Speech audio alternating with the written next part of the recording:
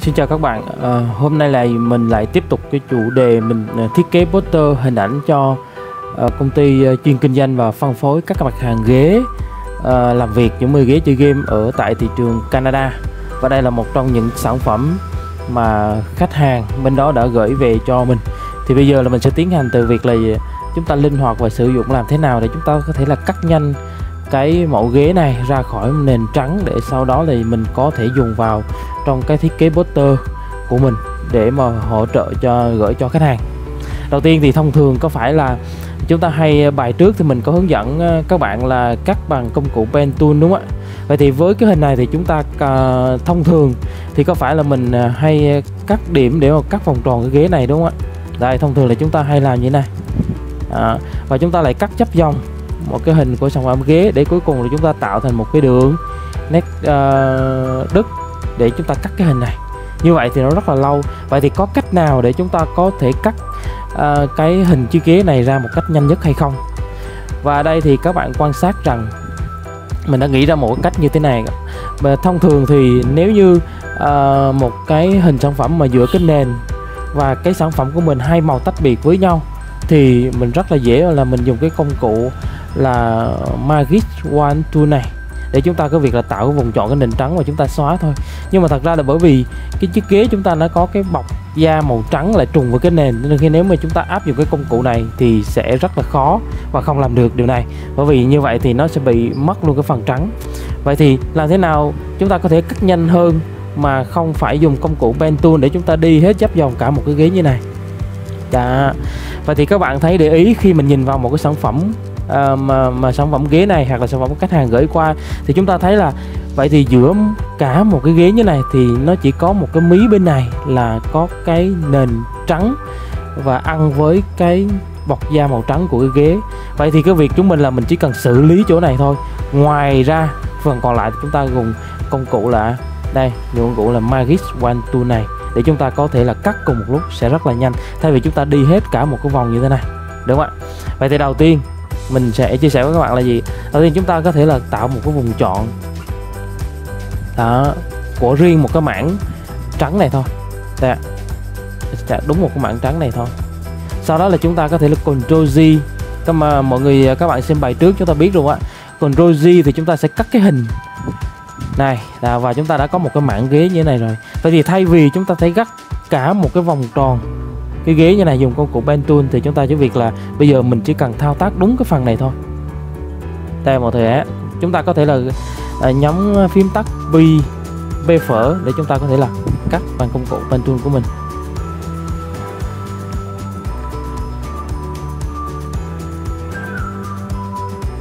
Và với những cái kinh nghiệm và cái tốc độ à, làm mà chúng ta nghĩ linh hoạt làm thế nào cũng cùng một kết quả nhưng mà chúng ta có thể làm nó trở nên nhanh hơn đúng không ạ.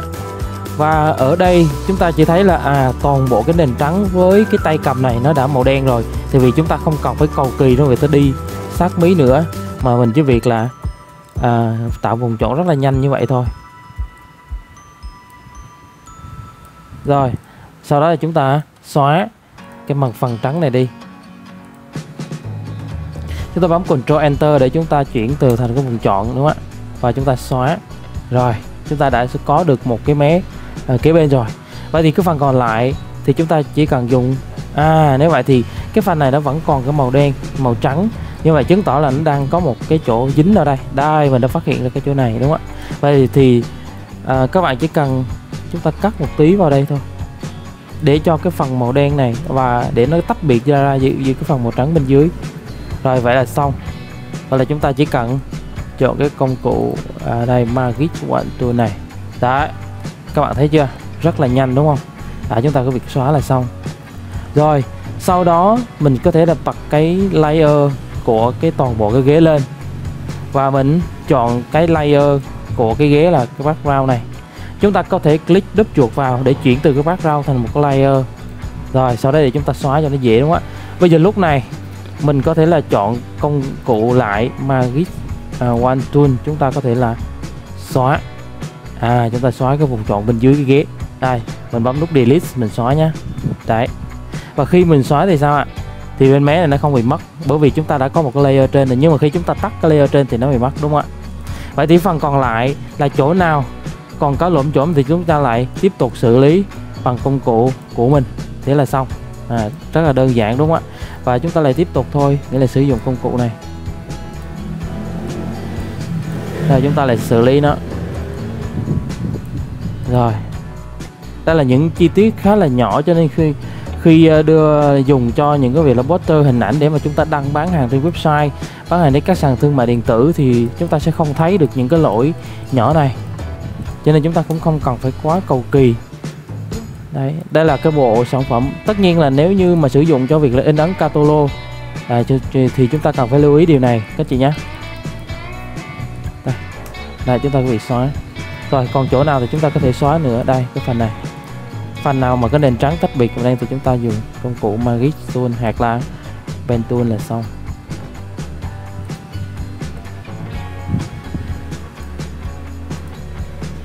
Dạ.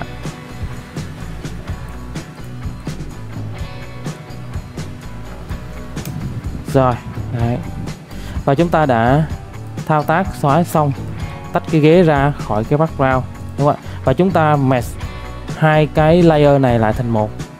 Vậy là chúng ta đã có một cái sản phẩm cắt ghế hoàn chỉnh rất là nhanh.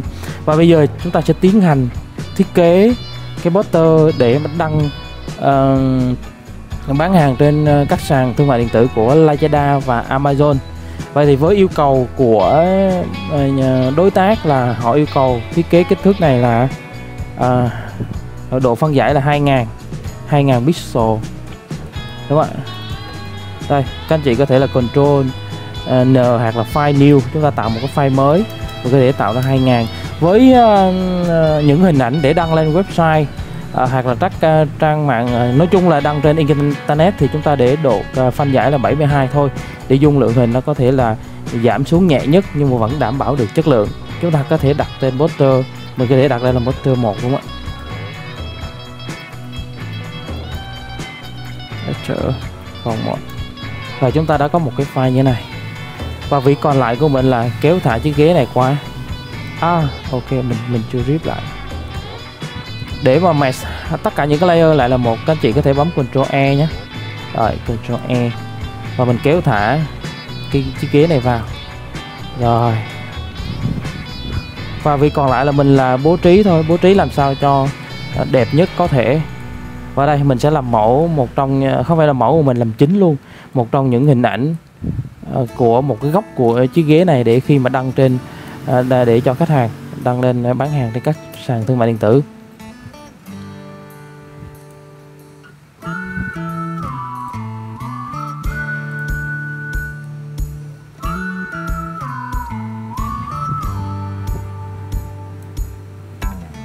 Đây là các bạn theo dõi nhé à thay vì mình chọn mình sẽ dùng đây. Mình vẽ một cái hình như thế này. Để mình có thể là ghi tiêu đề của cái à, cái sản phẩm. Và mình sẽ chọn.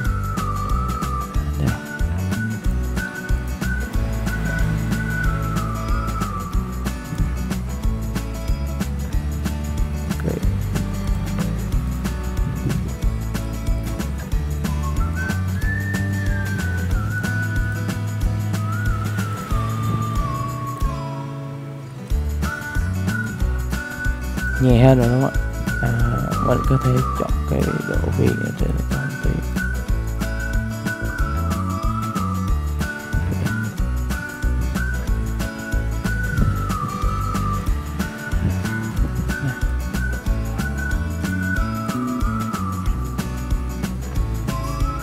đây ạ. Mình có thể là cho nhạc màu đen nhạt tới một tí thôi. Rồi màu trắng này và có thể là cho nhẹ xuống. Ok.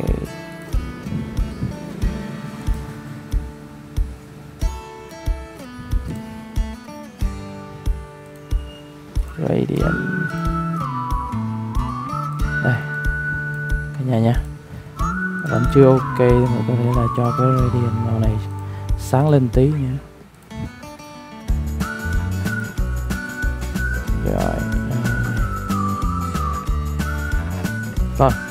Đây là cái file nội dung. Đây. cái file nội dung yêu cầu của khách hàng về chiếc ghế này. Chúng ta cần cho thêm vào. À, chúng ta cần phải thêm tên của chiếc ghế này. À, à, chúng ta chọn kích thước lớn hơn tí. Rồi.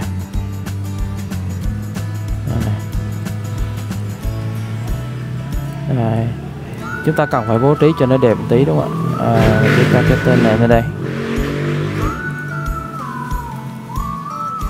Và đây là cái tiêu đề của cái, uh, cái ghế này cái thông điệp của chiếc ghế này.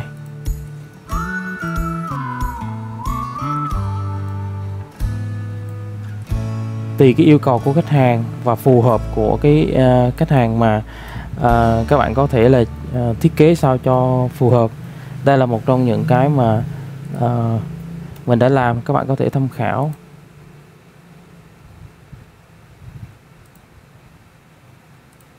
Tham khảo nhé. Đây.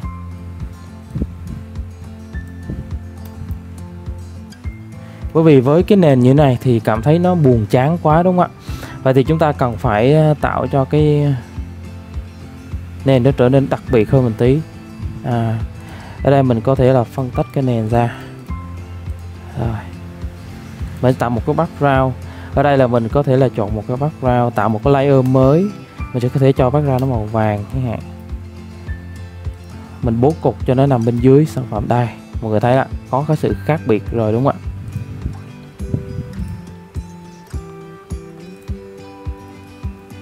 Chúng ta có thể là canh chỉnh một tí. Rồi, đấy. Và cảm thấy là nó có một sự đặc biệt riêng rồi. Vậy thì với một cái nền vàng như này thì chúng ta có thể là sửa lại cái tên ghế màu màu trắng cho nó nổi bật lên. Rồi ngoài ra thì có những cái nội dung khác. À, đây là cái tên đặc tính của sản phẩm.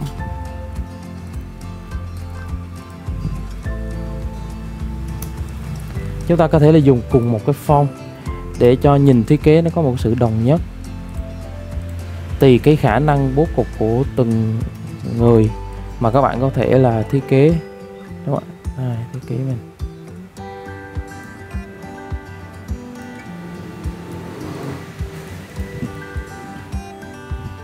yeah. Khoảng cách quá to chúng ta có thể là chỉnh lại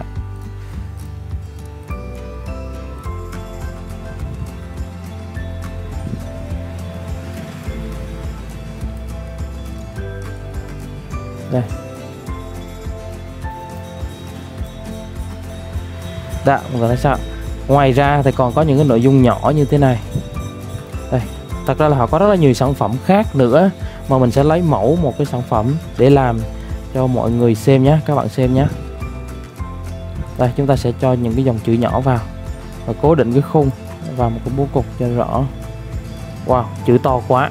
Thì mình có thể là cho khoảng 50 thôi tạ 50 hoặc khoảng cách quá xa thì cho mình để auto. Ok chưa ạ? Rồi. Đây. Chúng ta canh chỉnh lại một tí. Rồi, đó là một vài cái ờ, yêu cầu của ờ, sản phẩm. Để mình xem còn có yêu cầu gì nữa không nè. Như thế này thì cái bố cục đó nó không được cân đối lắm đúng không ạ? Nghĩa là bên trái của chúng ta hình ảnh khá là nặng khá là nhiều còn bên phải là chúng ta chưa có gì. Vậy thì làm thế nào? Vậy thì trong trong cái mẫu ghế này có những cái phần khác chúng ta có thể tạo ra xem một sự ấn tượng cho mẫu ghế. Thì chúng ta có thể là tìm trong cái file gốc ở đây là mình có một cái file gốc của khách hàng gửi. À, đây là cái bộ file gốc của khách hàng gửi để mà mình có thể tìm kiếm mình làm được không? Ta có rất là nhiều những cái mẫu khác mình làm rồi. Uhm. đâu ta? Đây. Ok. À ok. Mình sẽ dùng cái mẫu này nha. Và mình sẽ cắt riêng cái phần mà chỗ cái uh, cái miếng lót lưng này thôi. Mình sẽ dùng đúng cái viên phần cái miếng đó lên này thôi. Đấy, để mình tạo cái nét riêng cho cái rồi mình cắt riêng cái phần này ra. Ctrl G và mình tắt cái phần dưới đi. Đúng không? Và chúng ta hãy mình đặt ở đây. Mọi người thấy có đã đã tốt chưa? Ok chưa? Đã cân đối lên rồi đúng không ạ? Chúng ta có thể tăng lên một tí nè, tùy mọi người nhé. sau đó thì mình có thể là cho tạo cái bo cái stroke cho cái hình tròn này. Đây mình chọn à, uh, fx nghĩa là à, uh, fs plan option. Trong cái menu công cụ thì có thể là chọn plan option. Chúng ta chọn stroke chúng ta một cái viền trắng rất là nhỏ như thế này thôi. Đúng không ạ? Có thể là 5 tăng lên tí nữa là 6 rồi đấy. Nghĩa là cơ bản chúng ta đã có một cái hình đại diện khá là đẹp và cơ bản để chúng ta có thể là uh, sử dụng cho khách hàng để khách hàng cái đăng lên uh, các cái trang thương mại điện tử. Với làm thị trường nước ngoài chúng ta cần làm đơn giản bố cục hợp lý chuyên nghiệp càng tốt. Đó là những cái tiêu chí mà trong quá trình mình làm với các khách hàng nước ngoài bao nhiêu năm qua. Thì đấy nghĩa là càng đơn giản cái quan trọng nhất là thông tin rõ ràng bố cục và màu sắc. Làm thế nào để tạo được cái điểm nhấn và không còn quá màu mè giống như thị trường châu Á, thị trường châu Âu, khác rất nhiều so với thị trường châu Á là đặc biệt cái thị trường Việt Nam. Và đây là một cái tác phẩm hoàn thành từ cái khâu chúng ta cắt hình đến chúng chúng ta bố cục trên một cái file hình ảnh để có thể sử dụng để mà đăng trên các cái sàn thương mại điện tử hoặc là các mạng xã hội để cho khách hàng bán hàng. Đây ạ, đây là một trong những cái thiết kế rất là đơn giản mà chúng ta có thể làm được và chúc các bạn chúng ta học tốt và thành công.